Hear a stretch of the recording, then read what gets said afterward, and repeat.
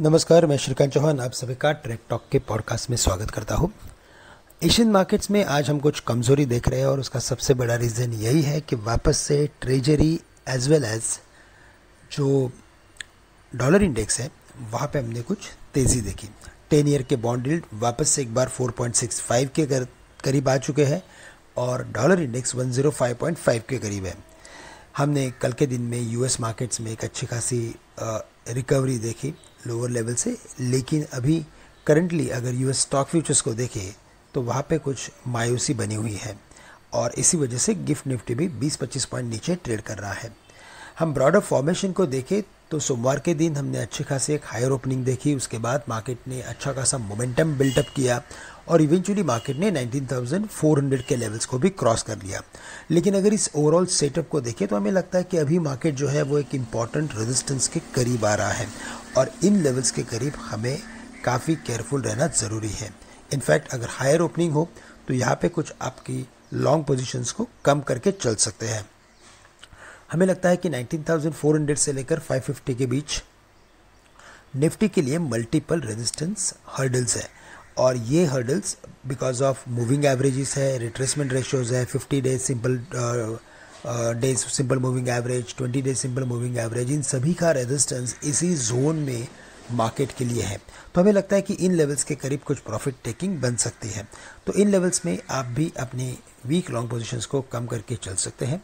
But yes in case if there is any correction अगर market में during the day कोई correction अगर आता है तो 19,300 से लेकर 250 के रेंज में एक कॉन्ट्रा व्यू के साथ शॉर्ट टर्म व्यू के साथ लॉन्ग पोजीशंस बनाई जा सकती है। लेकिन स्टॉप लॉस हमें रखना पड़ेगा एट 19,150 इसी के साथ अगर हम बैंक निफ्टी को देखें तो बैंक निफ्टी में भी हमें लगता है कि जो एक ग्रेजुअल अपवर्ड एक्टिविटी का ट्रेंड है वो कंटिन्यू हो सकता है। 43,850 के करीब एक बड़ा रेजिस्टेंस बैंक निफ्टी के लिए है। तो उन लेवल्स के करीब हमें लगता है कि बैंक निफ्टी एक बार आ सकता है। लेकिन साथ ही साथ 43,400 के नीचे बैंक निफ्टी में हमें वीकनेस भी देखने मिलेगा।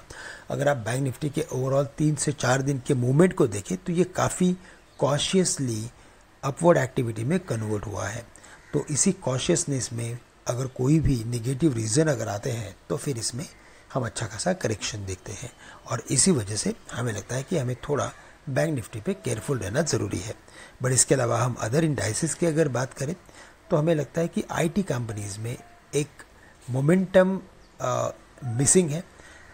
इवन दो कि हमने उनमें कुछ स्टॉक्स में अच्छी खासी एक्टिविटी देखी लोअर लेवल से रिकवरी देखी है मिड कैप आई कंपनीज़ में कुछ अपवर्ड ट्रेंड बना हुआ है, लेकिन वॉल्यूम्स कम्प्लीटली मिसिंग है। और इसी वजह से हमें लगता है कि ऐसे सेक्टर में राइट right नाउ कोई करेक्शन अगर आए, तभी कुछ लॉन्ग की पोजिशंस बनाई जा सकती हैं। Otherwise it is better to stay away but अगर हम आज चाइना के स्पेसिफिक इकोनॉमी डेटा को देखें तो वहाँ पे आज ट्रेड डेटा के नंबर्स आने वाले हैं। और इसी वजह से वहाँ पे हमें लगता है कि कुछ मेटल्स एंड माइनिंग कंपनीज़ में तेज़ी बन सकती है, जिसका इफ़ेक्ट बाकी वर्ल्ड मार्केट्स में भी आ सकता है। तो हमें लगता है कि आज के दिन में कुछ steel as well as metals and mining की कंपनीज़ में प्रेशर तेज़ी बनते हुए दिखेगी। Tata steel Jindal steel and power as well as J steel पर ध्यान रखें और साथ ही साथ हमें लगता है कि एनएमडीसी और जीएमडीसी पे भी हमें खासा फोकस करना ज़रूरी है। तो दोस्तों, आज के लिए बस इतना ही। आप सभी से मैं आज के लिए विदा लेता हूँ। आपका दिन मंगलमय रहे। धन्यवाद।